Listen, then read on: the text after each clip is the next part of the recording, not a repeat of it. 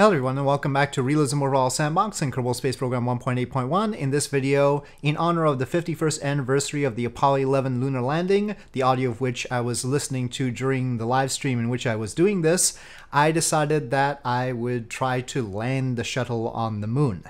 Uh, this is not a landing and return yet. That I, I was thinking about doing that, but first just landing the shuttle on the moon. Let's pretend that we're going to build the museum on the moon, like the Smithsonian, and we're gonna keep the shuttle there, okay? So that's the first step, and that's what I was going for.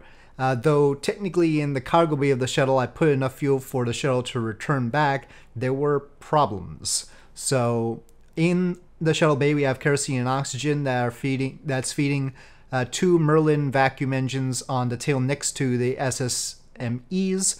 I kept the shuttle configuration the same, except of course we've got landing legs on the tail, and at the bottom of the external tank we have BE3Us being fed by hydrogen and oxygen, and those will get us into orbit around the moon. Of course, we're going to have to keep the external tank with us because of the position of the BE3Us, but I couldn't put that stuff on the shuttle's tail, and anyway, we'll just leave it be like that. Now, instead of trying to create the smallest possible launcher for this, I decided to just use my Monument launcher. It's just simpler that way. So we're not, uh, in my previous uh, shuttle to the moon videos, which I'm, I'm still doing, you know, trying to get the shuttle to Mir, I've been trying to make the smallest possible launcher that can get it done while still keeping the shuttle stack the same. That's not the goal here. This is just land the shuttle on the moon. And so I've got the Monument launcher without any boosters. You can hear the Apollo 11 audio going in the background there as we launch. I couldn't quite uh, separate that out. That audio is from Apollo 11 in realtime.org. So we've got some of that. The Monument launcher without any boosters. And here we have first stage separation and the ignition takes a little bit of time. For a reminder, the first stage has the equivalent of 41 M1 engines, the second stage 13 M1 engines, and it actually doesn't quite get us into orbit. You can see the periapsis is less than 140 kilometers, and that's mainly because I couldn't dump the fairings early. You can see how awkwardly the fairings go off, and when I was sizing the fairings, I found out that procedural fairings has a 50 meter limit. because uh, I was wrapping them all. Around. I thought there must be higher than that because then we have larger fairings around the Saturn V. Must have been. So I don't know why it was hitting a 50 meter limit suddenly. Maybe it was the wrong fairings. Anyway, here we go using the SSMEs and they're on, they only have one ignition in order to transfer to the moon. So we're using the external tank fuel for the lunar transfer and using the SSMEs on a single ignition. There they've shut down, but I found out due to inaccuracies in the burn, we overshot. I tried to use the BE3Us uh, from Blue Origin to bring that orbit back down. But you can see we're deviating away from retrograde there because the BE3Us are not balanced, and that's the problem. That's basically why we will not be landing on the moon and getting back into orbit this time because the balance issues were all over the place. Anyway, we managed to make the TLI burn after some struggling and wiggling about. And here we are rolling, let's call it a barbecue roll. It wasn't meant that way, but here it is. And of course, we do want to keep the hydrogen and oxygen. I put MLI layers on, but little did I know that the MLI layer uh, calculation has some weirdness when it comes to the external tank and um, the tanks of the Monument rocket. Tanks that have a set mass, the calculation for the MLI layers seems to get messed up. And in the case of the external tank, if you put too many MLI layers on, it suddenly goes from being its normal 26-ish tons dry uh, to being like 7 tons. And so that's weird. Anyway, in order to keep it balanced because the BE3Us were not balanced, I decided I had to use the Merlin vacuums. That's another thing that uh, prevents us from ultimately taking off again because the Merlin vacuums and the BE3Us both have limited ignitions. They both have five.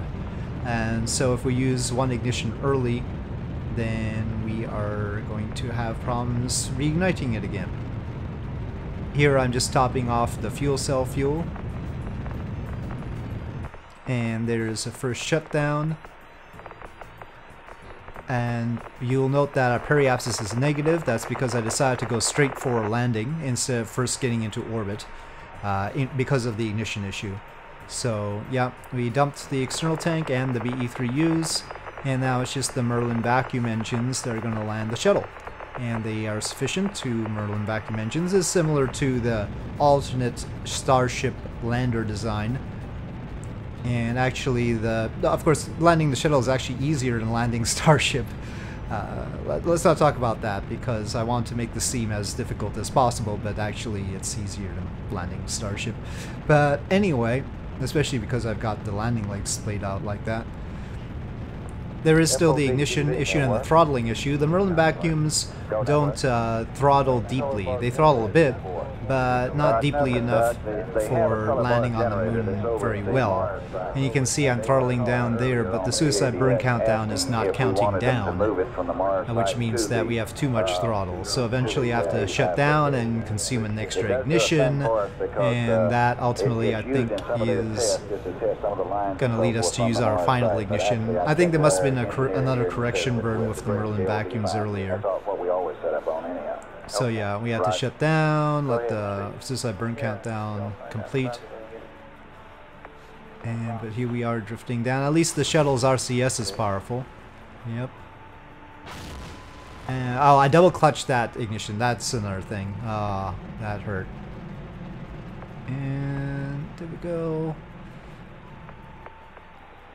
Are we down? Oh, I, I might have. I think I shut it down a little bit too early, and then we bounced, and then we tipped over very, very slowly because this is lunar gravity, and flop. I'm sure some tiles would have broken there, but it was a very slow topple. I mean, like two meters per second. So we ended up with like the most expensive lunar rover uh, you'll note the extra Delta V that we have available. I thought about reigniting the Merlin vacuums, but we were out of ignitions. So that was not going to happen. I was trying to turn upslope and sell the fuel down in the Merlin vacuums, but then I, when I throttled up, I found out I didn't have any more ignitions, so I couldn't try to get up again. It wouldn't have been able to get all the way to orbit with the fuel it had, but I just wanted to try it out. Anyway, time to make some changes. Uh, first of all, I added a different control points and I also tried to tilt the BE3Us differently. Turns out that I ended up doing it worse somehow, which was sad. Uh, so that's a spoiler, and it's going to end up worse than last time. But I also added two, uh, an extra set of boosters for the for the Monument rocket.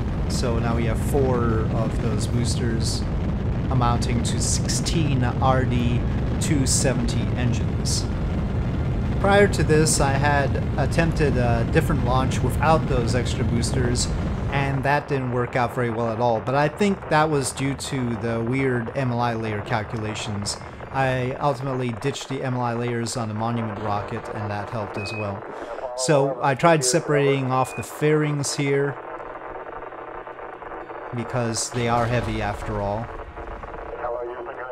So in between the stages, separating off the fairings to save some mass in the hope that the upper stage will actually get us into orbit properly this time, with the additional help of the boosters, of course.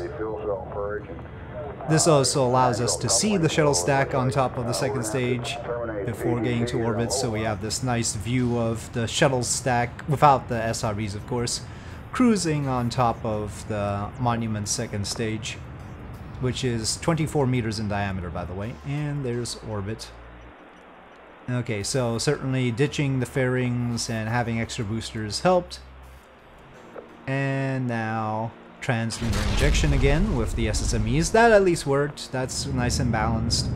No issues with the SSMEs, though in this case I was controlling from that controller on the external tank that I placed.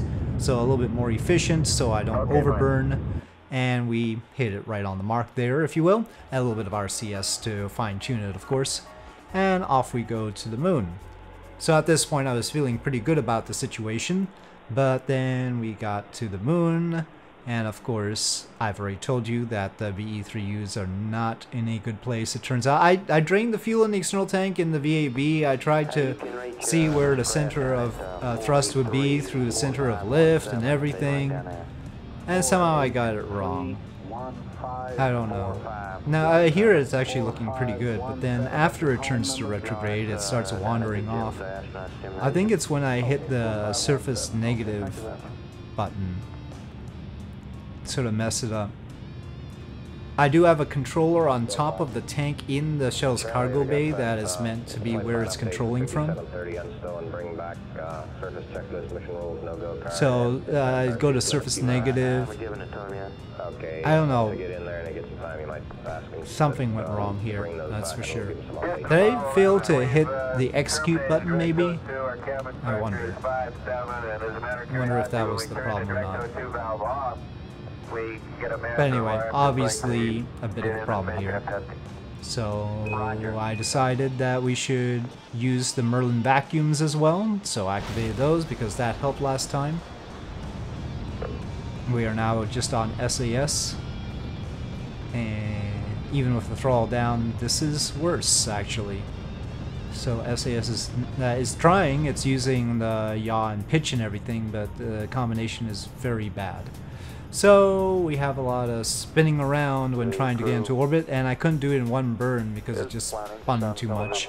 So we did one capture burn and came around and did another burn. So this is manifestly much worse than last time.